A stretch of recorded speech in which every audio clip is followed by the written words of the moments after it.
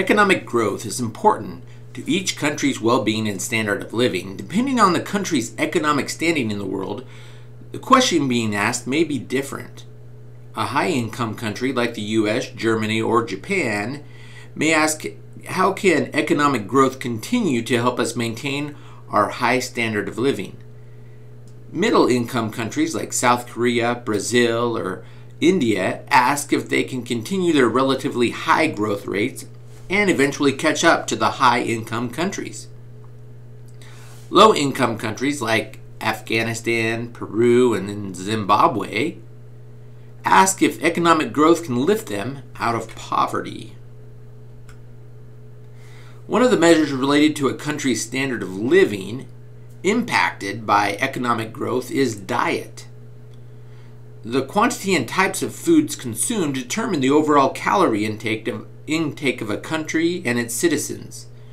Not only has the number of calories consumed per day increased in most countries, so has the amount of food calories that people are able to afford based on their working wages. Historically, economic growth has been supported by certain societal con- constructs. The most important is the rule of law. That is to say, the common consent to live by certain laws and consequences for breaking the law. Specifically, law that that protected uh, that protect individual and contractual rights have been the most effective to promote and sustain economic growth. Other facets of a society that act as supporting pillars to uh, to sustain economic growth are uh, moral standards that help prevent stealing, murdering, and other infringements to an individual's rights. Individual responsibility, encouraging citizens to work and provide for their own welfare.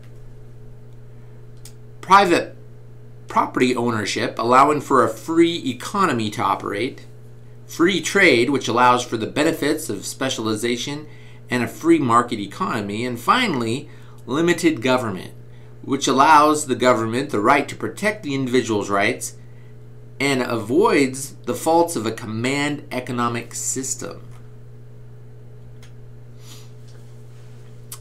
A production function is the process of turning economic inputs like labor, machinery, and raw materials into outputs like goods and services used by consumers. An aggregate production function shows what goes into producing the output for an overall economy. This aggregate production function has GDP as its output. This aggregate production function has GDP per capita as its output because it is calculated on a per person basis.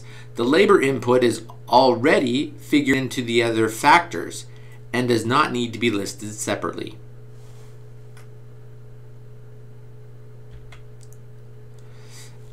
Output per, per hour worked is a measure of worker productivity. In the US economy, worker productivity rose more quickly in the 1960s and the mid uh, 1990s compared with the 1970s and the 1980s. However, uh, the, th- these growth, growth rate differences are only a few percentage points per year. Look carefully to see them in the changing slope uh, of the line.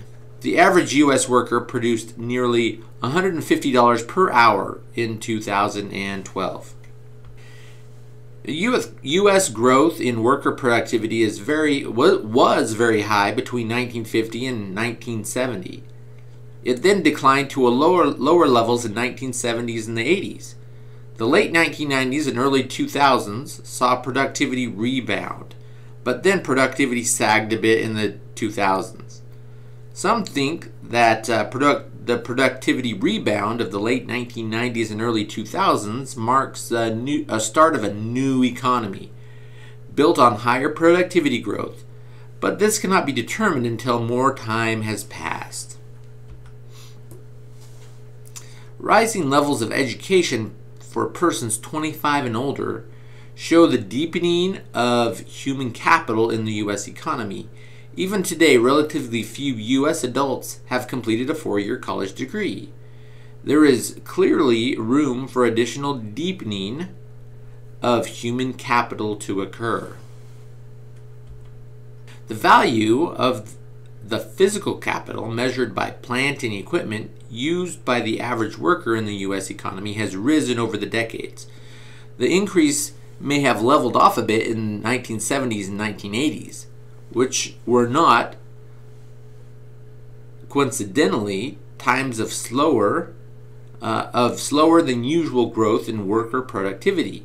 We see a renewed increase in physical capital per worker in the late 1990s, followed by a flattening in the early 2000s. Here are three reasons, or three lessons. Here are three lessons regarding economic growth. Uh, lesson number one Technology is typically the most important contributor to growth, especially in mature, high income con- economies. Uh, lesson number two physical capital and human capital have equal importance to each other. One without the other is, is less effective. And then lesson number three is all three factors must work together. Imagine that the economy starts at point R with the level of physical and human capital C1 and the output per capita at G1. If the economy relies only on capital deepening, while remaining at the techno- technology level shown by the technology 1 line, then it would face diminishing marginal returns as it moved from point R to point U to point W. However, now imagine that capital deepening is combined with improvements in technology. Then, as capital deepens from C1 to C2, technology improves from technology 1 line to technology 2 line. The economy moves from R to S. Similarly, as capital deepens from C2 to C3, technology increases from technology 2 to technology 3, and the economy moves from S to T. With improvements in technology, there is no longer any reason that economic growth must necessarily slow down. Hence, the impact of the law of diminishing returns can be avoided with the use of technology in the form of invention and innovation.